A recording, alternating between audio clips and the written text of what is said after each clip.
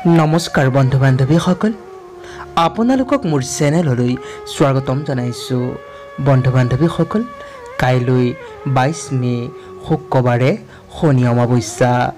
এই অমাৱস্যাত এইকেইটা কাম ভুলতো নকৰিব।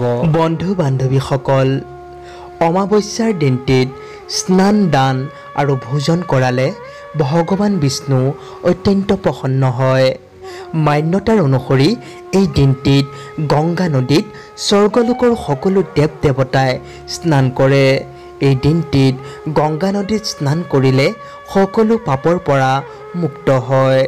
যদি গংগা নদীত স্নান কৰিব নোৱাৰে তেন্তে ঘৰতে স্নান কৰাৰ পানীত কেইটামান তিল আৰু অলপ হালধি মিলাই স্নান কৰিলেও সকলো পাপৰ পৰা মুক্ত পোৱা যায়।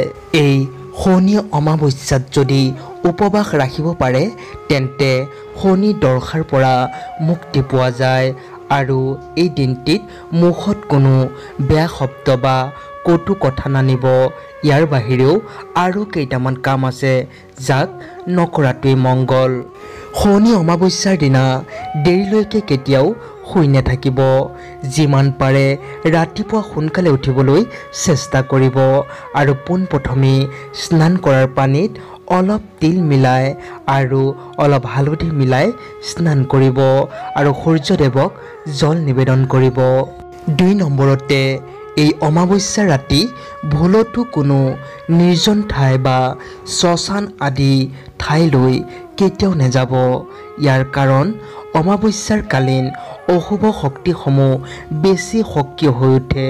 যদি আপুনি অকলশৰে এনে ঠাইত যায় তেন্তে এই বেয়া শক্তিসমূহৰ কবলত আপুনিও পৰিব পাৰে। সেয়েহে এই অমাৱস্যা ৰাতি এনে ঠাইলৈ যোৱাটো উচিত নহয়। তিনি নম্বৰতে এই অমাৱস্যাৰ দিনটিত কাৰো সৈতে হাই কাজিয়া নকৰিব আৰু অন্য লোকক অপমান নকৰিব। এই দিনটিত হাই কাজিয়া কৰিলে পূৰ্বপুৰুষৰ আশীৰ্বাদৰ পৰা বঞ্চিত হ'ব পাৰে। সেয়েহে এই দিনটিত ভগৱান বিষ্ণুৰ নাম গুণ লৈ থাকিলে ভগৱান বিষ্ণুৰ অশেষ কৃপা লাভ কৰিব পৰা যায়। আজিলৈ ইমানেই। ধন্যবাদ।